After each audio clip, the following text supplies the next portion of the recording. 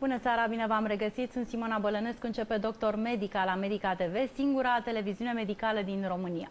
În prima parte a emisiunii vorbim despre uh, copii, despre alimentația copiilor, uh, cum îi ferim de anumite alimente, dacă este cazul sau nu. O să ne explice invitata noastră de astăzi, doamna doctor Iulia Țincu, medic primar pediatru. Apoi, de la ora 19, uh, vom vorbi despre cauzele infertilității și ce avem uh, de făcut, cum putem rezolva această problemă de sănătate. Alături de noi se va afla doamna doctor Ruxandra Dumitrescu, medic primar obstetrică ginecologie. Nu uitați că așteptăm și astăzi întrebările dumneavoastră. Ne puteți suna ca de obicei la numărul nostru de telefon 0310699956. Așteptăm mesajele voastre, întrebările voastre, astfel încât să vă putem uh, răspunde și să vă putem uh, lămuri. Așa cum uh, spuneam în prima parte, vom vorbi despre alimentația copiilor. Este extraordinar de importantă. Um, este important ca cei mici să aibă obiceiuri sănătoase încă din copilărie, pentru ca mai târziu ca adult să nu apară tot felul de probleme de sănătate. O să ne explice invitata noastră de astăzi, doamna doctor Iulia Țincu, medic primar obstetric, medic pediatru, medic primar pediatru. Eram cu gândul uh, și la partea a doua a emisiunii. Uh, bun venit, uh, Iulia, mă bucur să te revăd și să discutăm un subiect extrem de important. Bună seara, bun găsit tuturor, mulțumesc de invitație. Erai cu gândul la prima parte, dinainte de alimentație. Prima parte, la exact, da, mă gândeam copilul. că în a doua parte discutăm despre cauzele infertilității și ce putem face ca să aducem pe lume un copil, un și copil. apoi să-l hrănim corect. Și vorba ta încă din burtica mamei ar trebui să avem această preocupare, nu? A hranei, alimentației sănătoase, atât pentru viitoarea mămică, și mai ales pentru viitorul bebeluș care se formează acolo în burtică. Într-adevăr, așa este. Conceptul celor o mie de zile de viață, primelor o mie de zile de viață, începe încă din perioada de sarcină. Pentru că oferim o nutriție sănătoasă, oferim o creștere sănătoasă încă din cele 9 luni de sarcină, printr-o alimentație corectă, să spunem, și ferită de toxice, ferită de noxe, cu multe substanțe nutritive uh, a mamei. Uh, și deși astăzi vom vorbi mai degrabă despre, despre alimentația copilaș, copilului exact. și dacă ne ferim sau nu de alimente, uh, este binevenită între pătrunderea asta, între partea, să spunem, obstetricală și partea ulterior de puericultură sau de creșterea copilului, pentru că startul pentru ceea ce va fi ulterior viitorul adult din punct de vedere al sănătății și îl găsește în primii trei ani de viață. Aceștia sunt cruciali pentru felul în care ulterior organismul adolescent, organismul adult se va dezvolta. Da, deci uh, iată, de aceea subliniam faptul că este o discuție extrem de, de importantă. Atitudinea față de hrană se învață, putem spune așa, copilul o învață de la părinți, de la adulții din jur. Într-adevăr, așa este uh, și astăzi ne confruntăm mai degrabă cu tulburări de comportament alimentar. Uh, câți dintre noi nu avem cel puțin un mic mofturos acasă care dintr-o dată, mai devreme sau mai târziu, refuză alimentația. Ok, putem vorbi ore întregi despre ce înseamnă o alimentație sănătoasă. sănătoasă fructul da. verde, fructul roșu, carnea de bună Legume. calitate, cerealele, cum diversificăm. Sunt reguli deja știute, cunoscute de cei care ne ascultă. Cred că foarte multe dintre mămicile care ne ascultă deja au urmat toate aceste reguli. Ce te faci cu un copil care ajunge vârsta, să spunem, grădiniței, ulterior a vârsta școlară și dintr-o dată refuză alimentația. Și ai subliniat bine momentul critic, vârsta grădiniței uh, sau școlară, pentru că până să intre în colectivitate, ai senzația că mai poți că controla situația. și că stăpânești situația. Ce bine ai spus. În momentul da. în care a crescut și intră în colectivitate și vede exemplul și poftește de la ce mănâncă ceilalți, s-a terminat. Adică foarte greu mai reușești să mai ai lucrurile sub control. Într-adevăr, deși nu vrem neapărat niște părinți care să controleze extrem de autoritar întreaga, să spunem, alimentație sau atitudine față de hrană, dar cu siguranță rolul părintelui este acela de a ghida încă din primii ani de viață ce este sănătos. Și de a explica, și pentru că explica, eu întotdeauna asta am încercat să fac. Am spus, n-am spus neapărat nu, am zis că hai să încercăm să evităm, e bine la vârsta asta să nu mâncăm așa de mult, pentru că uite ce se poate întâmpla, uite ce variante avem mai bune, mai sănătoase, mai până la o anumită vârstă funcționează. După, După e mai greu, mai ne greu. întoarcem la atitudinea față de hrană, se învață încă de foarte de devreme, pentru că n-ai pretenția ca cel mic să consume doar alimente sănătoase, doar alimente care nu sunt împachetate, fabricate sau care nu sunt extrem de dulci, dacă în casă, în ceea ce îi oferi ca timp liber, în toate pretrecerile pe care le organizezi, se servesc doar variante nesănătoase. Întotdeauna când avem de-a face cu un copil mofturos, un copil care schimbă dintr-o dată tulbur, uh, felul în care mănâncă, comportamentul alimentar, ne uităm la ce se întâmplă în familie ce se întâmplă în colectivitate, ce se întâmplă în zona de socializare, uh, pe parcursul petrecerilor, să spunem, în copilărie, orelor de școală, dacă se servește sau nu masa uh, în zona de after school sau la grădiniță, ce s-a întâmplat acolo nou și în felul acesta suntem mai degrabă psihologi, să spunem. Corect. Sau, uh, psihologi mai buni sau mai puțin exact, buni. încercând să vedem dacă a apărut vreo problemă, de multe ori chiar a noastră adultului, care să modifice atitudinea față de hrană hrană față de obiceiul sănătos pe care am încercat să-l, să-l imprimăm, repet, nu cu o nuanță autoritară, ci cu o tentă de explicare, cu o tentă de cunoaștere, atitudinea față de hrană se învață prin explorare, prin a nu-l feri de mic de alimente, toate acele alimente care sunt sănătoase și care, conform vârstei lui de dezvoltare, începând cu debutul diversificării, deci între 4 și 6 luni, știm de la medic că le putem, le putem introduce. Deci, iată, uh, respectăm uh, această schemă uh, a alimentelor introduse progresiv, în funcție de vârsta pe care o are copilul. Medicul pediatru te sfătuiește. Niciodată nu introducem mai multe alimente, pentru că dacă sunt mici probleme, nu știm de la ce au apărut. Respectăm aceste lucruri pe care le știm dar avem grijă ca și noi să ne hrănim sănătos ca să fim un exemplu bun. Măcar încercăm. Eu, de exemplu, nu mănânc dulciuri sau mănânc foarte rar, și uite că fetița mea preferă dulciurile, n-am ce să fac. Oricum este un gust născut și o dependență, să spunem, născută, dependența față de carbohidrați se învață foarte repede, da. Uh, față de gustul, să spunem, plăcut, sănăto- plăcut, cel care stimulează anumite papile gustative. Important este tot timpul să avem uh, variante alimentare uh, și aș atrage mai degrabă atenția... Și mănâncă și fructe și legume, fructe adică și nu legume, le exclude pentru că au. este important acest aspect. Sunt și copii care nu mănâncă deloc fructe sau legume nu, ea mănâncă, dar preferă și dulcele. Dulcele poate fi servit sub forma unor deserturi, la distanță uneori față de masă. Nu vom folosi niciodată felul în care oferim un dulce, spre exemplu, un ar procesat, să zicem industrial, sub forma unei recompense. Ai învățat bine, primești nu știu câte bomboane sau nu știu câte preparate cu ciocolată. Aici bunicii să aibă grijă, pentru că ei sunt cu recompensele, ai mâncat tot, uite, ia și un dulce. Da, cred că tot este ceea ce stă la baza mânca tot este ceea ce stă la baza tulburării de comportament alimentar a copiilor pe care o, o vedem astăzi. Pentru că dincolo de cei, să spunem, extrem de Uh, dornici în a consuma dulce, în a consuma toate preparatele, la polul opus sunt și ceilalți, foarte mulți de altfel, care dintr-o dată refuză nu neapărat alimentația sănătoasă, dar mai ales aceasta, ci refuză în general să-și diversifice alimentația. Dintr-o dată nu mănâncă decât supele cremă sau consumă dar chipsurile sau pastele cu brânză și acelora răspunem copii care își modifică comportamentul alimentar. Spuneam Dar de ce uneori, se întâmplă? Spuneam că uneori sursa unei astfel de probleme este conceptul ăsta de tot. Termină tot din farfurie. Tot pentru adult poate să fie diferit față și de să copil. fie prea mult pentru copil, Să nu? fie prea mult, să fie dimensiunea porției să, să difere față de nevoile fiziologice ale copilului și atunci dacă luni de-a rândul, an de-a rândul, practic încerci să-i imprimi uh, totul așa cum îl vezi tu, o farfurie întreagă sau chiar două porții, e posibil să creezi psihoemoțional, pentru că tot acolo se naște tulburarea, un refuz al alimentației cu orice ar fi el. Supa cremă făcută în casă, mâncarea de legume cu carne, uh, fructele sănătoase, legumele sănătoase, deci e posibil să-i imprimi aversiunea față, față de alimente. Poate că trebuia să începem uh, cu această explicație, să spunem că stomacelul nostru al tuturor este cumva cât uh, îți arată căușul palmei, deci atât cât are mânuța de mică uh, copilul, cam așa este Cam așa și stomacelul porția, da. și să nu-i dăm uh, porții mari, uh, să înțelegem că cred că niciun copil nu stă nemâncat, adică să moară de foame, îți cere la un moment dat, că sunt perioade în care ei uh, cresc poate mai mult și atunci simt nevoia să, să mănânce ceva mai mult și perioade în care poate nu mai mănâncă așa de bine, dar tu asta spuneai din start, să nu-i alergăm cu ultimul dumicat din farfurie.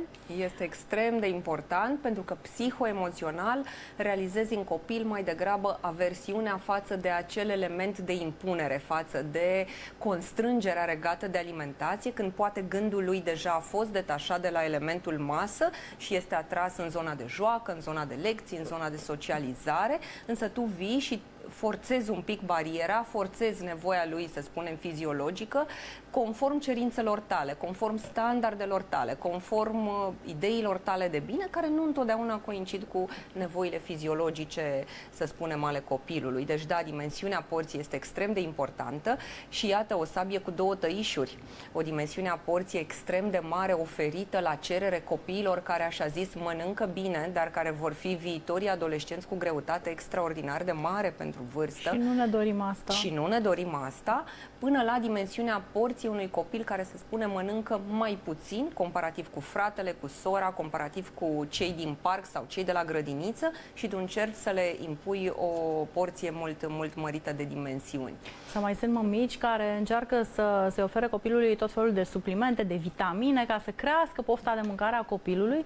Uh, cred că nu e corect să faci așa, îi dai cumva metabolismul peste cap, adică uh, uh, organismul copilașului este setat să mănânce în ritmul lui și atât cât îi trebuie. Dacă noi insistăm cu mai mult, uh, nu facem decât să-i dăm reperul peste cap cumva. Exact așa este, plus că de comun acord cu medicul pediatru sau cu medicul de familie, relatându-i fiecare etapă de creștere și dezvoltare, relatându-i obiceiurile alimentare, acesta reușește să surprindă dacă nu cumva există deficiențe, dacă există carențe. Și atunci dacă vezi că zilnic sunt atinse cele cinci principii alimentare, există trei mese principale cu două gustări, copilul consumă și fibre, și fructe, și legume, și carne, și produse de origine vegetală, cumva nu întrevezi necesitatea unei suplimentări. Bineînțeles când vine vorba de boală, de afecțiune, deci când vine vorba de o stare acută sau cronică care interferă cu starea de sănătate, uh, e posibil să intervină și elementul supliment.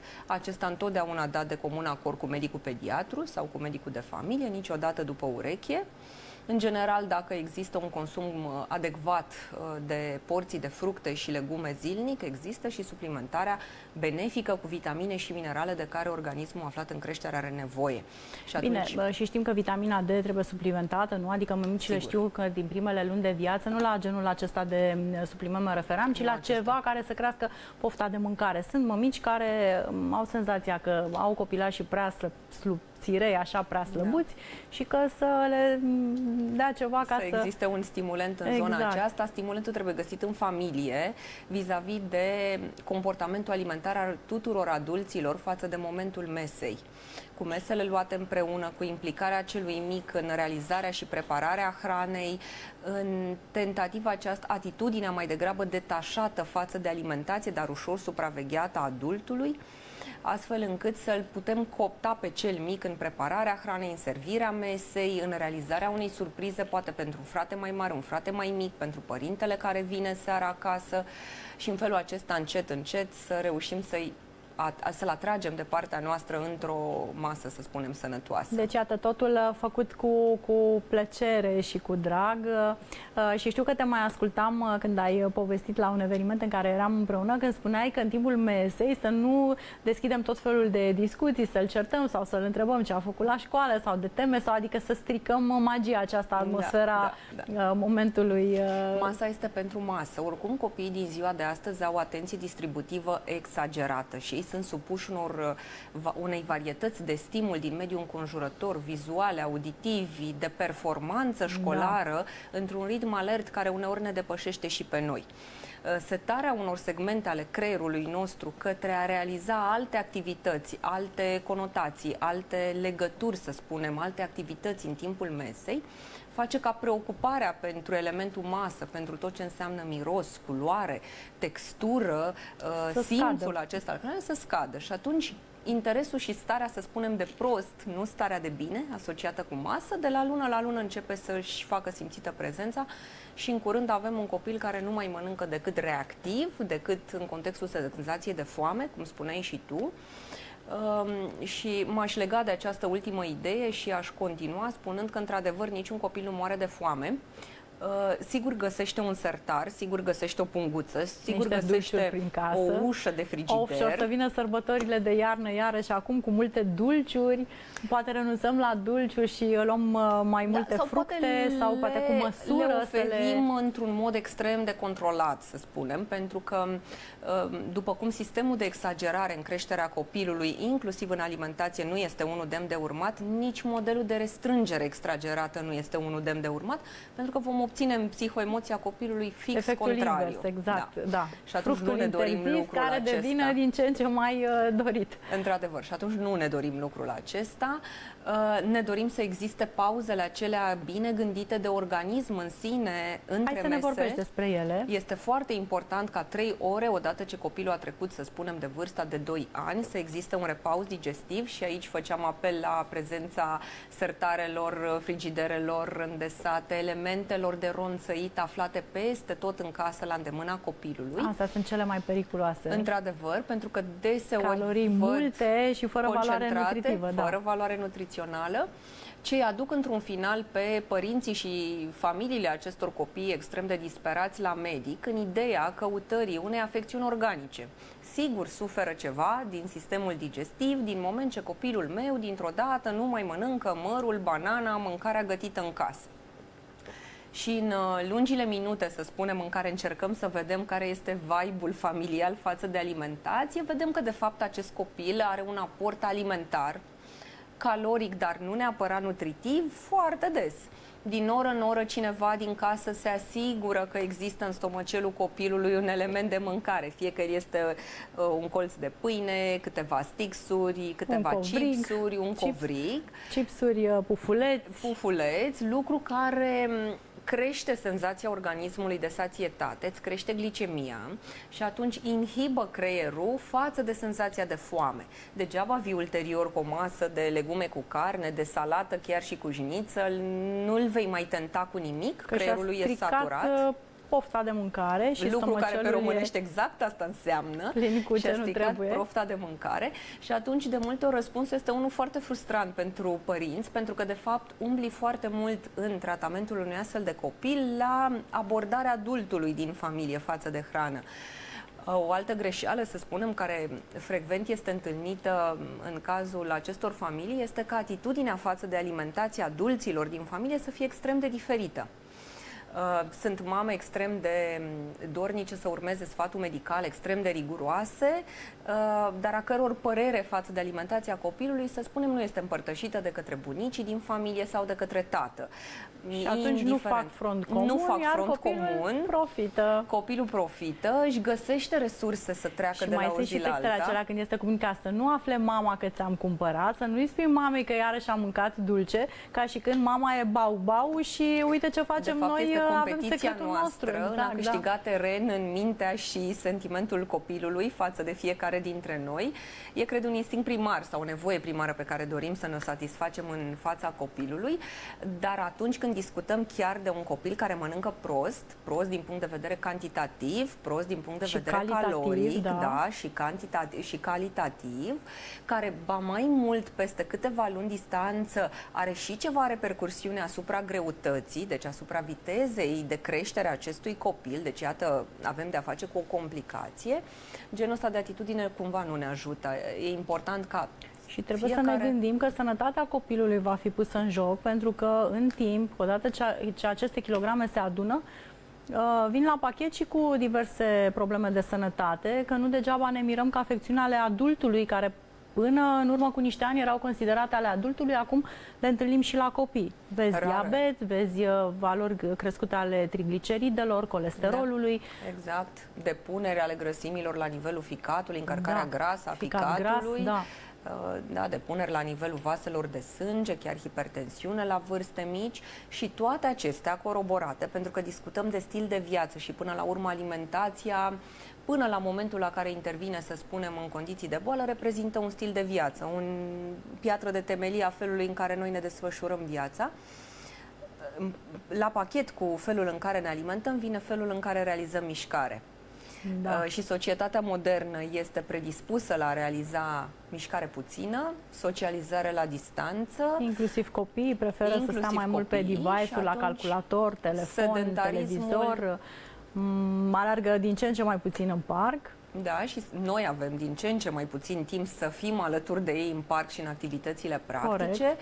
și atunci ei învață, iată, un alt obicei, obiceiul acela în care pot să ronțăi ceva, pot să mănânc rapid. În ne uităm la timp, film, ronțăim exact. ceva, mergem la cinema, ne luăm porțiile acelea uriașe, că nu înțeleg și porția mică, dacă zici, hai odată la nu știu cât timp să guste, și porția mică este tot mare, este imensă. Arăta cineva un studiu la un moment dat, vărsând toate porțiile acestea, că ele de fapt sunt cam toate la fel fel și că diferă într-un fel sau altul ambalajul, ambalajul pe pe înălțime și ca să creeze dependență, că toate conțin da. acele substanțe care îți dau dependență și practic e ca o adicție, ca un drog. E o adicție L-ai gustat și vrei din ce în ce mai mult. Mai mult, pentru că mișcă un receptor la nivel cerebral, acela care îți secretă endorfine, acela care îți secretă starea de bine, pe care o obții din, acest, din această zonă și pe care, iată, poate că pragul și uh, cursul vieții moderne nu, nu te mai face să obții acele endorfine din alte lucruri.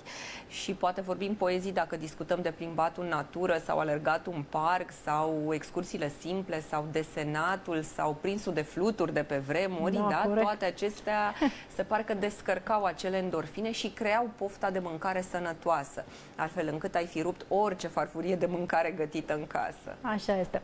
Apropo de uh, ieșit ieșitul în parc. Uh, ce părere ai sau o să te rog pe tine să ne spui dacă este bine sau nu să venim, uh, uh, mai văzut de la vârste încă mici, mămicile vin cu mâncarea pregătită, cei drept acasă, făcută de ea, dar copilul mănâncă în parc. Hai cât este foarte mic și ai nevoie să-i dai la orele potrivite, cred că nu este o problemă, dar pe urmă când sunt mai mari și bagă mâna murdară în tot felul de punguțe din astea, de chipsuri, pufuleți, dulciuri, de lucruri mă rog, pe care ar trebui să le consumăm, ai zis să nu le interzic, din ce uh-huh. tot mai rar, uh, ce părere ai? Și tu degeaba nu-i cumperi copilului, poftește, vine un alt copil și îl servește, ce hai ia și tu, poftim, mămica copilului respectiv insistă. Ce poți să faci? Deși tu acasă explici, unu, ești cu mâinile murdare, doi, copilul care îți oferă la fel, bagă mânuța cu mâna murdară, pe urmă bați și tu mâna, nu e ok, îți strici pofta de mâncare, avem ce să mâncăm sănătos acasă. Tu explici toate lucrurile astea.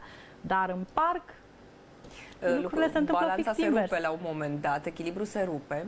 Dacă ne gândim la pauza de mâncare pentru copilul, să spun, ce a trecut de vârsta de un an și jumătate, doi ani, la pauza aceea între aliment, alimentare de măcar trei ore, ne dăm deja seama că trei ore sunt trei ore petrecute în parc sau trei ore petrecute într-o activitate în care nu ar trebui să mai consume pentru că el deja a trecut de masa anterioară și urmează peste trei ore să existe următoarea masă pe care o poate lua la fel de bine acasă. Deci gustărelele de rezervă în care să existe tot timpul ceva de ronțăit, chiar și sănătos, în ghiozdanul mamei sau al copilului care merge în parc sau la o anumită colectiv sau într-o altă zonă de colectivitate, este un prim lucru pe care îl putem, la care putem renunța. Da, Mâncăm acasă, noi, dar cei din jur nu renunță. Asta să spunem eu prima parte. Aia zic. După care vine socializarea, după care vine colectivitatea, după care vine modelul social pe care îl văd în jur și pe care vreau să-l imit.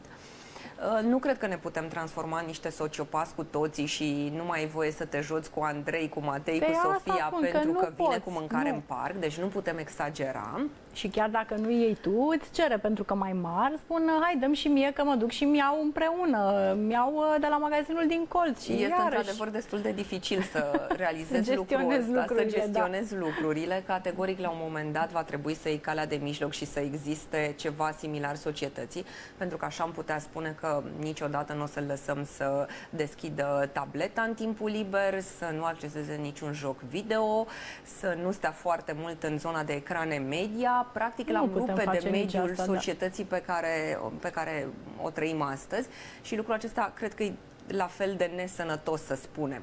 Dar cred că dacă majoritatea timpului imprimăm obiceiurile, să spunem, mai sănătoase, uh, cu pauzele acestea alimentare, cu lipsa ronțăitului între mese, cu oferirea încă de foarte de devreme a meselor sănătoase, putem avea mai multe șanse spre succes și că... Și uh, speranța că acolo în uh, sertărașele creierului au rămas informațiile sănătoase și la un moment dat copilul o să-și amintească o să de ele amintească și o sau să putem profite. reitera informațiile. Astăzi a fost o zi în care te-ai întâlnit cu prietenii tăi și am făcut O excepție. se dist- felul în care se distrau prietenii tăi și atunci am făcut ca ei, dar mâine e o zi în care urmăm alte reguli și putem să ne reîntoarcem la obiceiurile noastre și tot așa. O comunicare departe de stres, departe de exigență majoră din partea atitudinii noastre de parenting, cred că e în general cheia în cam tot ce avem de făcut cu cei mici, inclusiv în alimentație. Bun, uh, și spuneai uh, dacă ideal ar fi din 3 în 3 ore când copilașul este mai mare și în uh, intervalul acesta de 3 ore, în afară de apă, nu mai servește nicio gustare, nimic? Sau uite, dacă uh, facem uh, regula de un dulce pe zi sau un dulce la câteva zile, de preferat în prima parte a zilei, să-l mănânce separat de masă sau imediat după ce a mâncat. Că și aici cred că sunt uh, lucruri importante de știut, dacă tot mănâncă și mai scapă în dulce, măcar să o facă uh, Controlat cu cap, și- controlat, exact, uh, mai ales uh, că suntem mămici de fetiță, unele dintre noi, bine, am și fetiță și, Și băiat. băiat. La mine, la băiat, nu e o problemă, el nu e cu dulcele, este fix ca mine, însă Rebecca are această poftă, pasiune pentru dulce și îmi și spune că ea adoră să mănânce. Asta e. Ce facem? Cum facem? Într-adevăr, gândim cumva mesele unui regim de viață sănătos al copilului și chiar al viitorului adolescent, ba chiar și al adultului, uh, cu cele trei mese principale și două gustări. Și atunci gustările pe care le oferim una la jumătatea perioadei de dimineață și una la jumătatea perioadei de după amiază, le considerăm mese, dar sunt mai mici, Mici. caloric, pot fi sub formă de cu ajutor sau cu impact mai mare de carbohidrați, mai ales în prima parte a zilei, deci la jumătatea perioadei de dimineață, și le vom socoti gustări. Uh, Când spun mese, nu mă refer la 5 mese principale din 3 în 3 ore plus alte gustări. Că ar fi prea mult. Pauza de 3 ore se referă ca în 3 ore să nu existe niciun fel de aport caloric pentru a da posibilitatea întregului, să spunem, sistem fiziologic, sistem digestiv, să realizeze, să proceseze digestia, să învețe creierul cu senzația de foame pe măsură ce se apropie ora următoarei mese. A nu ne pune ceasurile să sune din 3 în 3 ore, nu asta vreau Deci să nu facem înțeleagă. niciun stres din da, asta. Nu, nu asta vreau să înțeleagă cei care ne urmăresc de acasă, dar ca începe dimineața de vreme cu prima masă reprezentată de micul dejun, este un obicei sănătos și îl setăm încă din perioada de grădiniță. A începe prima masă la ora 10.30 sau la ora 11 Este târziu. este târziu, urmează perioada de școală în care va putea învăța, să spunem, după amiaza și asta e una din greșelile pe care o văd destul de frecvent la copilul ce învață după amiaza, deci are o vârstă cumva mai mare. Că se trezește mai târziu și sare peste micul dejun. Sare nu? peste micul dejun, nu mai există acea gustare de dimineață. În ce întreg ciclu de mese este foarte devansat pe parcursul Împins, zilei, da.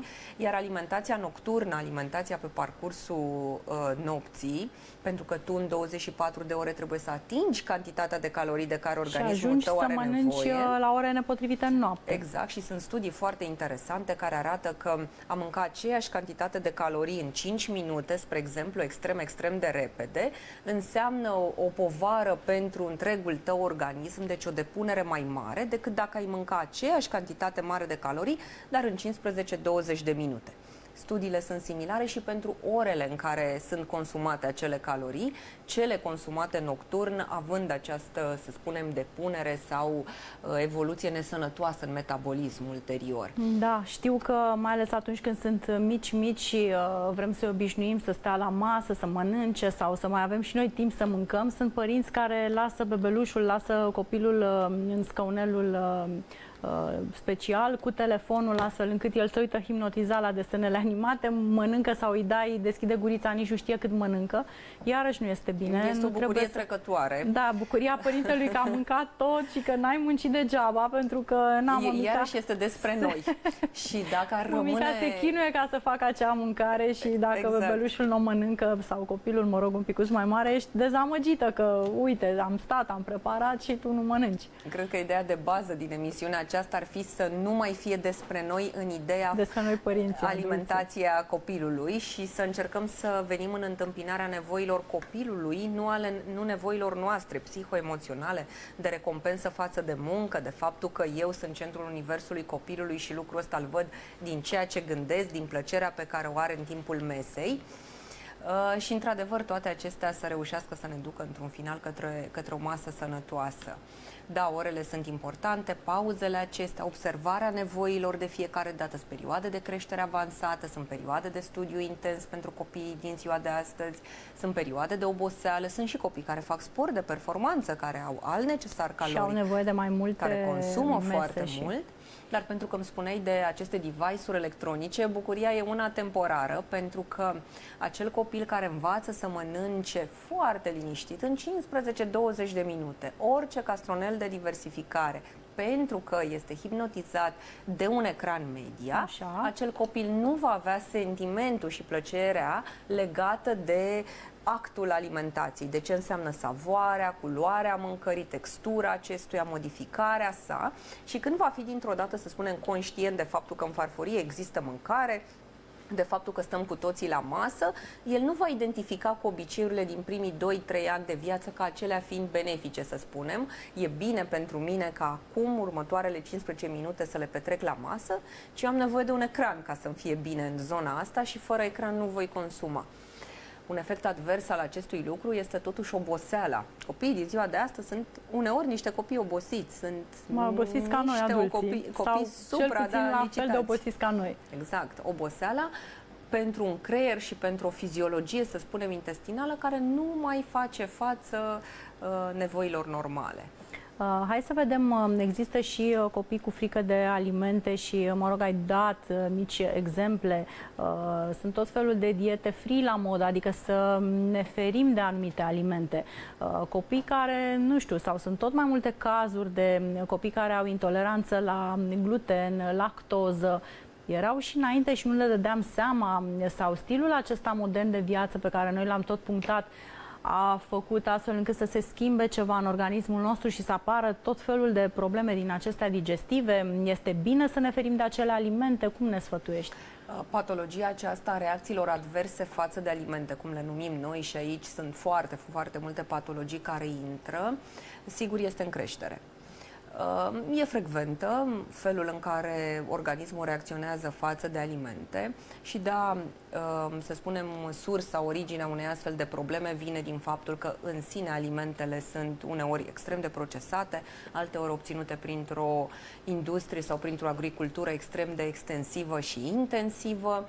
Există încărcătură cu noxe, cu toxice peste tot pe suprafața planetei și există o hipersensibilizare uh, de-a lungul ultimelor generații uh, uh, și vedem asta în cazul copiilor pe care astăzi avem de îngrijit. Deci, clar, discutăm de o zonă aparte, un procent în creștere de copii care fac reacții adverse față de alimente partea nevăzută a icebergului unei astfel de situații este că din start considerăm că avem de-a face cu un copil care trebuie ferit de alimente ca să nu dezvolte acele reacții despre care am auzit pe Facebook, pe grupuri, în parc, la grădiniță. Deci, deci am... sub nicio formă nu facem asta în încercarea de a preveni apariția problemelor. Sub nicio formă, chiar și copilul dovedit cu o alergie alimentară și, să spunem, cea mai frecventă dintre ele, cel puțin pentru primele luni de viață, pentru primul an de viață, este alergia la proteina din laptele de vacă, chiar și un astfel de copil, el are dreptul la o diversificare după șase luni, o diversificare normală conform normelor de diversificare, mai puțin eliminarea produselor de origine lactată, întrucât față de acesta manifesta simptomatologie de obicei digestivă. Dar altfel și nu vom... să ne spui ce înseamnă această patologie de obicei digestivă, ce probleme apar sau cum ar trebui părintele să-și dea seama că micuțul uh, are anumite probleme digestive. Uh, sunt unele reacții față de alimente imediate, în care, după primele contacte, să spunem, cu un anumit aliment nou introdus, uh, există vărsături, există durere abdominală, există scaune modificate, uh, există erupție cutanată și aceasta este cumva cea mai desperiat dintre forme, ba chiar cu edemațierea, umflarea unor zone de la nivelul feței, a ploapelor, a urechilor, aspectul acela atigrat, pictat, plin de pete roșii, o reacție imediată, în care organismul în contact cu o proteină străină și de obicei la proteine facem genul acesta de reacții, eliberează o serie de mediatori care determină această reacție neplăcută. Și aceasta ar fi alergie sau intoleranță? Aceasta ar fi o alergie, alergie. și este o alergie cu reacție imediată, deci se realizează în decurs de câteva ai ore. Ai mâncat sau uh, nici măcar n-ai mâncat, uh, ai atins... Uh Uh, Într-adevăr, ceva da. care conținea sau o persoană care mâncase acel ceva, că înțeleg că sunt uh, copii atât de sensibili. Adică... Sunt genul acesta de forme extreme, să spunem, ale alergiilor alimentare, imediate, deci cu reacție foarte rapidă, în și câteva zgomotoasă. ore. Și zgomotoasă, uneori cu simptomatologie de tip respirator. Sunt copii care, pe lângă umflăturile acestea care apar la nivelul feței, există același gen de umflătură, să spunem, sau de edem la nivelul căilor respiratorii, care se Poți pot ajunge uh, chiar să faci o reacție asemănătoare șocului anafilactic șocului și să ajungi să te exact, sufoci? să ajungi să te sufoci și să ai nevoie de o agresivitate a terapiei și de o manevră extrem de, de intensivă și sunt mm, cu siguranță dintre cei care ne ascultă astăzi, dacă care au, știu au ce au de făcut, au kitul au respectiv ca să administreze imediat. Respective. Deci acesta este un tip de reacție și tot în zona alergiilor există alergii alimentare cu exprimare mai tardivă, în câteva zile uh, de la contactul cu un aliment potențial alergizant. Aceștia au mai degrabă manifestări de tip gastrointestinal, cu vărsături recurente, cu scaune modificate, uneori cu ceva sânge observat acolo, uh, cu refuz alimentar, asociat uneori cu dermatită atopică, cu erupție și uscăciune la nivelul pielii, uh, uneori cu tuse după masă, simptomatologie de tip reflux. În formele cele mai grave și dacă acest lucru se perpetuează, copiii aceștia ajung să nu crească foarte bine pentru că există tot timpul un soi de rănire, să zicem, a um, sistemului digestiv pe interior, care dintr-o dată nu mai absoarbe foarte bine toate substanțele nutritive. Avem uh, și un telefon, uh, Iulia, și o să te rog să ne oprim un pic ca să putem intra în legătură telefonică directă cu domnul uh, Dorin din Suceava. Bună seara, vă ascultăm! Să rămână! Bună seara! Mulțumim că ne urmăriți și că ne-ați sunat. Înțeleg că aveți o întrebare pentru doamna doctor Iulia Țincu? Da, am o întrebare pentru doamna doctor. Am un băiat de 16 ani, face 17 ani anul viitor. Să vă trăiască! Uh, deci nu am mâncat niciodată în viața lui legume, fructe. Foarte încăpățânat, foarte... Dar uh, problema este că nici nu a avut probleme uh, cu sănătatea, nu a fost internat niciodată, nu a fost răcit niciodată în viața lui, deci din punctul ăsta de vedere sunt foarte bucuros. Dar uh, nu știu cum să fac să, să-l determin să mănânce legume, fructe, deci el nu mănâncă crud, crudități, deloc, absolut deloc. Deci nu punem gura pe ele deloc. Și îndată are 17 ani. V-am zis, din punct de vedere de, al sănătății, ok, nu au fost rețin niciodată. Nu mănâncă lactate, brânzeturi, carne, dar nu mănâncă legume și fructe absolut deloc. Și o soluție, cum să fac să-l determin, sau, sau dacă e bine să continui cu metabolismul pe care îl are. Mulțumim pentru întrebarea adresată. Mulțumim, într-adevăr, asta era urmă, continuarea domnului din Suceava, ne-a ridicat la fileu mingea pe, mai departe pentru tratamentul unor astfel de tulburări de comportament alimentar și am fost foarte atentă la ce ne-ați povestit și vă mulțumim pentru întrebare. Este foarte încăpățânat. Așa ne-a povestit tatăl. Da, exact. Este foarte încăpățânat. Și când vorbesc de încăpățânare, nu vorbesc de o afecțiune organică, nu vorbesc de o afecțiune a tubului digestiv, deci, nu vorbesc de o afecțiune a inimii boală, care da. nu te lași să, să, să, să mănânci sau care te face să-ți consumi foarte mult resursele. Nu vorbesc de o reacție adversă față de alimente ca cele pe care le discutam anterior, ci merg ușor, ușor în zona de tulburare de comportament alimentar, aceasta e vorba pe care am tot scornit-o în ultimii ani, în care există un fel de reacție psihoemoțională negativă față de alimentul legumă, față de alimentul verde, față de alimentul tocat, față de alimentul gătit. Cu siguranță el își completează necesarul nutrițional cu alte alimente pe care le are la îndemână. Sigur, vorbim și de o vârstă foarte mare, vorbim de uh, întreaga furtună de voință care adolescenței. Oricum este o perioadă critică, adică și copiii care poate avea obiceiuri sănătoase, uh, alimentare sănătoase. Pot fi date peste cap. Exact, pentru că ies împreună cu gașca, ies în oraș, atunci sunt tot felul de alte tentații și mâncarea aceasta fast food uh, e mult mai uh, gustoasă sau așa o consideră ei. Da? Partea bună din tot ce ne-a spus părintele este că nu există niciun fel de boală bună. organică că până acum uh, greutatea și talia bănuiesc, felul în care acest copil a crescut uh, este absolut în regulă, că n-a trecut prin infecții, deci cumva și fără analize suplimentare pare că nu are deficiențe, ci discutăm doar de o aversiune față de alimente care poate fi de la 2 ani până la viitorii, să spunem, anorexici, pentru că ăsta este semnalul de alarmă pe care îl avem de tras față de, mai ales față de adolescenții care refuză anumite tipuri de mâncare,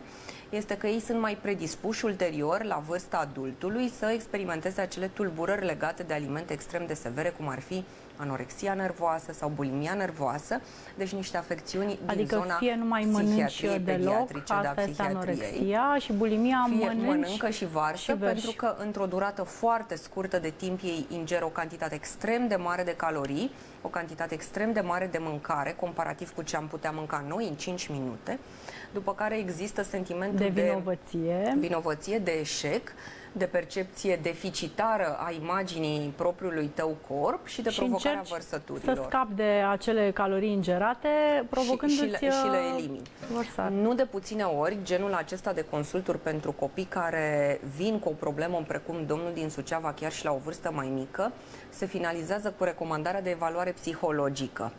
Uh, e o recomandare internațională cumva acreditată și adoptată pentru că atunci când nu se sizeze o legătură cu afecțiune organică, deci nu există acolo uh, o patologie de fond, ceva care să creeze o anumită sensibilitate și să eviți fructele și legumele, să spunem. Da și oricum a fi un părinte autoritar în fața unui adolescent rebel este cea mai Foarte mare greșeală. E posibil greu. ca nu părintele care transmite informația despre mâncare sănătoasă să fie, să spunem, modelul de urmat pentru adolescentul respectiv și aici sunt multe discuții.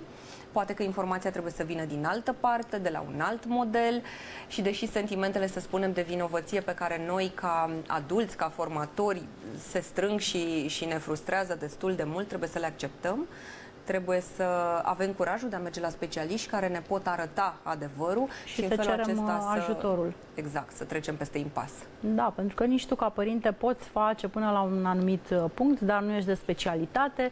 Deja când copilul crește și așa cum uh, spuneam, ajunge la vârsta adolescenței când uh, gașca, prietenii uh, contează mai mult, mult în ce spun mult. decât uh, ce sfaturi primește de la părinte acasă și atunci, iată, ajutorul unui psiholog poate că nu ar Uh, strica și poate că ar rezolva cumva problemele.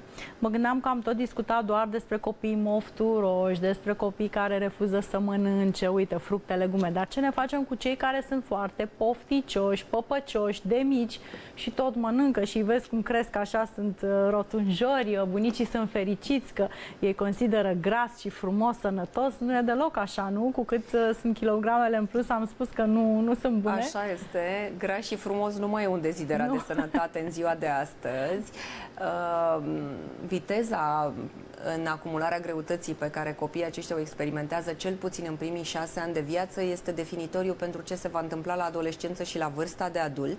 Și sunt niște perioade critice, critice în care ar trebui să avem grijă și poate ni le reamintești. Într-adevăr, până la vârsta de 3 ani, lucrurile sunt extrem de importante. Aș dubla sau aș tripla indicele de masă corporală, pentru că aici nu discutăm neapărat doar de elementul greutate, discutăm și de elementul talie, dar discutăm și de raportul dintre acestea două. Pentru că sunt copii înalți, cu greutate, să spunem, bună pentru vârstă, dar care par slabi, pentru, pentru că, că raportul greutate pe talie, da, e diferit. Da, cred că e mai bine așa să par mai slab uh, decât să fii Categoric, prea uh, și o să vedeți că fiecare din medicii pediatrii care supraveghează copilul apelează la fel de fel de standarde de creștere raportat la vârstă, la sex, la localizare geografică. A ieși cumva din aceste standarde și a ne duce în zona superioară reprezintă un semnal de alarmă. Și dacă până în urmă cu ceva ani spuneam că Uh, foarte puține procente dintre copiii care dezvoltă obezitate sau suprapondere sunt datorate, să spunem, uh, geneticii. așa era și tatăl, așa era și mama, așa seamănă sunt toți frații, alt, seamănă în familie. Da, mai uh, plinuț. Uh, și că 95% din cauze sunt datorate obezității exogene, adică de aport. Astăzi, în ultimii ani, am învățat să spunem că majoritatea cauzelor de obezitate totuși au în spate o cauză genetică. Asta nu înseamnă că îi căutăm pe fiecare dintre acești copii cu fel de fel de teste genetice extrem de scumpe, dar cu siguranță felul în care depun caloriile și substanțele nutritive dintr-o, dintr-un uh, sandwich, să spunem, uh, este diferit în funcție de fiecare organism în parte și aici intervine genetica. Bine, și asta cred că vezi cu ochiul liber uh, de obicei când copilul este mai plinut și părinții sunt cam la fel și de aici deduci că poate în familie nu sunt cumva obiceiurile alimentare neapărat cele mai sănătoase și genetica, așa cum spui.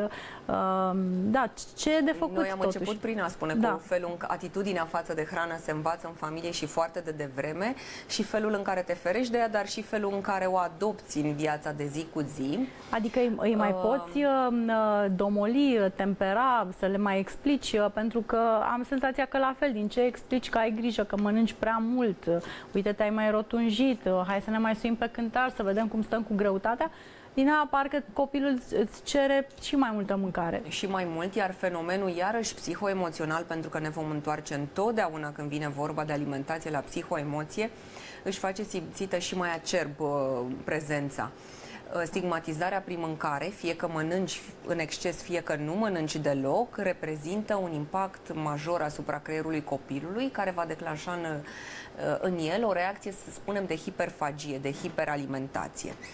Uh, iarăși trebuie să fim mai deștepți cu un centimetru față de acești copii, deși este destul greu, de greu în ziua de greu. astăzi, exact.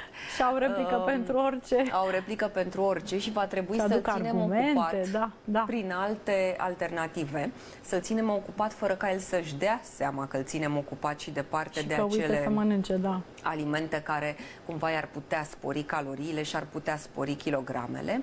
Mă întorc din nou la sfatul celor două, trei ore pe zi de activitate fizică pe care trebuie să le bifeze copiii noștri.